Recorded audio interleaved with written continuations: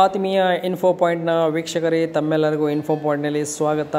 ಆತ್ಮೀಯ ಶಿಕ್ಷಕರೇ, ಇವತ್ತು ನಾವು ಎಸ್ ಎ ಟಿ ಎಸ್ನಲ್ಲಿ ವಿದ್ಯಾರ್ಥಿ ಡಿ ಬಿ ಟಿ ಆಧಾರ್ ಪರಿಶೀಲನೆ ಮಾಡೋದು ಹೇಗೆ ಎನ್ನುವುದರ ಬಗ್ಗೆ ತಿಳಿದುಕೊಳ್ಳೋಣ. ಆದ್ಮೇಲೆ ಮೊಟ್ಟ ಮೊದಲು ನಿಮ್ಮ S A T S login ಆದ ನಂತರ ಎಸ್ ಎ ಟಿ ಎಸ್ನಲ್ಲಿರುವಂಥ ರೀಸೆಂಟ್ಲಿ ಆ್ಯಡೆಡ್ ಈ ಒಂದು ಹೋಮ್ ಪೇಜ್ನಲ್ಲಿ the first option recently ಆ್ಯಡೆಡ್ನಲ್ಲಿ student D B T Aadhaar verification ಅನ್ನೋ ಆಪ್ಷನ್ ಇದೆ. ಸೊ ಇದರ ಮುಖಾಂತರ ನಾವು ಅಥವಾ ಇಲ್ಲಿ ಡ್ಯಾಶ್ಬೋರ್ಡ್ ನಂತರ ಸೆಕೆಂಡ್ ಒನ್ ಕಾಣುವಂತಹ student D B T Aadhaar verification so ಇವೆರಡು ಸೇಮ್ ಆಪ್ಷನ್ ಇವೆ. ಈ ಒಂದು ಆಪ್ಷನ್ ಉಪಯೋಗ ಮಾಡಿಕೊಂಡು ನಾವು ಮಕ್ಕಳ ಡಿ ಬಿ ಟಿ ಸೊ ಒಂದು ಆಧಾರ್ ವೆರಿಫಿಕೇಷನ್ ನಾವು ಇದರ ಮುಖಾಂತರ ಮಾಡಬಹುದು. ಈ ಥರ ನೀವು ಇದನ್ನು ಪ್ರೆಸ್ ಮಾಡಿದಾಗ ಇಲ್ಲಿ verify student verify student Aadhaar details ಏನೋ ಈ ಪೇಜ್ ಓಪನ್ ಆಗುತ್ತದೆ. ನಿಮ್ಮ ಶಾಲೆಯಲ್ಲಿರುವಂತಹ ಆಲ್ ಎಲ್ಲ ಮಕ್ಕಳ ಮಾಹಿತಿಯಲ್ಲಿ ಲಭ್ಯವಾಗುತ್ತದೆ. So specifically the students who those are the Aadhaar card Aadhaar number ಹೊಂದಿರುವಂಥ ಎಲ್ಲ ಮಕ್ಕಳ ಹೆಸರುಗಳು ಇಲ್ಲಿ ಬರುತ್ತವೆ. ಸೊ ಅವರ Aadhaar number beneficiary name beneficiary gender beneficiary date of birth ನಂತರ ಫೈನಲ್ ಸ್ಟೇಟಸ್ ಈ ಥರ ಆಪ್ಷನ್ಸ್ಗಳು ಇಲ್ಲಿ ಲಭ್ಯವಾಗುತ್ತವೆ. ಸೊ ಇಲ್ಲಿ ನಾವು ಪ್ರತಿ ಮಗುವಿನ ಮಾಹಿತಿಯನ್ನು, ಆಧಾರ್ ಮಾಹಿತಿಯನ್ನು ಇಲ್ಲಿ ಕಾಣುವಂತಹ ವೆರಿಫೈ ಎನ್ನುವ ಬಟನ್ ಮೇಲೆ ಕ್ಲಿಕ್ ಮಾಡಿ ಮಾಡಬೇಕಾಗುತ್ತದೆ. ಸೊ ಇದರ ಮುಂಚೆ ಇಲ್ಲಿ ಕಾಣುವಂತಹ ಫೈನಲ್ ಸ್ಟೇಟಸ್ ಎಫ್ ಎಂದು ಇದೆ.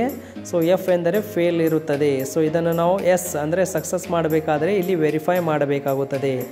ಈ ಥರ ವೆರಿಫೈ ಬಟನ್ ಕ್ಲಿಕ್ ಮಾಡಿದಾಗ ನಿಮ್ಮ ಮೊಬೈಲ್ ಮುಖಾಂತರವೇ ನೀವು ವೆರಿಫೈ ಮಾಡಬಹುದು. ಈ ಥರ ವೆರಿಫೈ ಬಟನ್ ಕ್ಲಿಕ್ ಮಾಡಿ ಕ್ಲಿಕ್ ಮಾಡಿದಾಗ ಇಲ್ಲಿ ವೆರಿಫೈ ಪೇಜ್ ಇಲ್ಲಿ ಓಪನ್ ಆಗುತ್ತದೆ. ಇಲ್ಲಿ ಕಾಣುವಂತಹ D B T Karnataka so ಈ ಆಪ್ಷನ್ನಲ್ಲಿ ಐಡೆಂಟಿಟಿ ವ್ಯಾಲಿಡೇಷನ್ ಸರ್ವಿಸ್ ಸೊ ಈ ಒಂದು ಆಪ್ಷನ್ ಉಪಯೋಗ ಮಾಡಿಕೊಂಡು ನಾವು ಡಿ ಬಿ ಟಿ ಮಾಹಿತಿಯನ್ನು ಫಿಲಪ್ ಮಾಡಬಹುದು. ಆದಮೇಲೆ ಇಲ್ಲಿ ಕಾಣುವಂಥ ಐಡೆಂಟಿಟಿ ವ್ಯಾಲಿಡೇಷನ್ ಸರ್ವಿಸ್ನಲ್ಲಿ ಆಧಾರ್ ಕಾರ್ಡ್ನಲ್ಲಿರುವಂತಹ ಹೆಸರು ಮತ್ತು ಆಧಾರ್ ಸಂಖ್ಯೆ ಇವೆರಡನ್ನು ಹಾಕಿ ಇಲ್ಲಿ ಐ ಅಗ್ರಿ ಬಟನನ್ನು ಚೆಕ್ ಮಾಡಿ. ನಾವು ಐಡೆಂಟಿಟಿ ವ್ಯಾಲಿಡೇಷನ್ ಸರ್ವಿಸನ್ನು ಪೂರ್ಣಗೊಳಿಸಬಹುದು. ಫಾರ್ ಎಕ್ಸಾಂಪಲ್ ನಾನು ಈ ಮಗುವಿನ ಆಧಾರ್ ಕಾರ್ಡ್ನಲ್ಲಿರುವಂಥ ಹೆಸರನ್ನು ಟೈಪ್ ಮಾಡ್ತಾ ಇದ್ದೇನೆ. ನಂತರ ಇಲ್ಲಿ ಕೆಳಗಡೆ ಕಾಣುವಂತಹ ಆಧಾರ್ ನಂಬರ್ ಕೂಡ ನಾನು ಎಂಟರ್ ಮಾಡ್ತಾ ಇದ್ದೇನೆ. ನಂತರ I agree button so agree ಬಟನನ್ನು check ಮಾಡಿ.